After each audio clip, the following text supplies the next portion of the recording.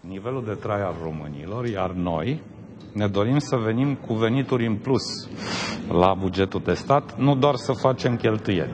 Sigur că ne dorim, așa cum știți și cum am anunțat și până acum, să creștem salariul minim de la 1 ianuarie, să mărim pensia minimă de la 800 la 1000 de lei, să mărim cu 11% punctul de pensie, iar alocațiile să fie conform legii. Pentru asta am venit cu propuneri care vor fi discutate în perioada următoare pentru a crește veniturile, pentru a crește veniturile, o să vă răspund la toate întrebările, pentru a crește veniturile statului.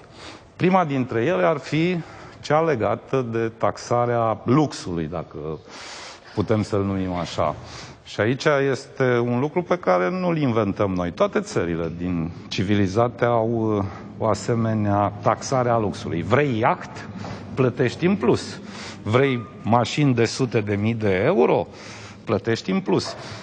E o intenție și vreau să subliniez, nu e niciun fel de impunere, este o intenție pe care noi am declarat-o astăzi, urmând să o detaliem și nu este o condiție pe care o dă PSD-ul. Doi, de asemenea știm, tot pentru creșterea veniturilor, că România are cea mai mică rată de colectare la nivelul Uniunii Europene. Este, dacă vreți, un lucru pe care este absolut necesar să-l corectăm.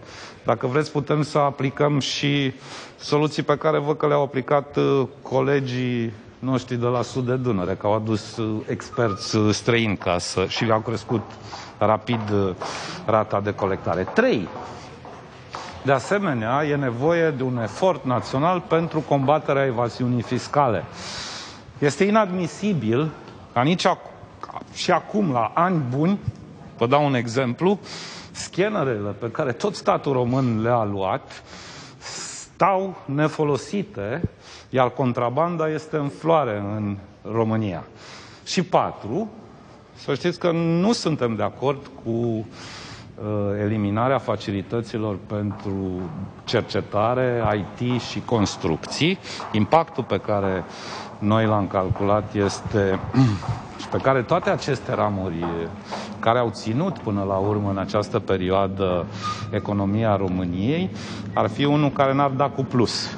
Sunt câteva, și subliniez acest lucru, sunt câteva propuneri, intenții pe care noi le-am prezentat azi uh, interlocutorilor pentru a crește veniturile statului. Pe subiectul avocațiilor, v-ați înțeles cu liberalii? de suprataxarea marilor Vă rog. averi. Partidul Național Liberal a fost de acord în aceste discuții pe care le-ați purtat astăzi? A rămas, după ce am transmis intenția noastră, a rămas ca m, discuțiile ulterioare, din, de astăzi, de mâine, de poi mâine, să în aceste discuții să detaliem aceste puncte, deci n-a fost închis acest Aș vrea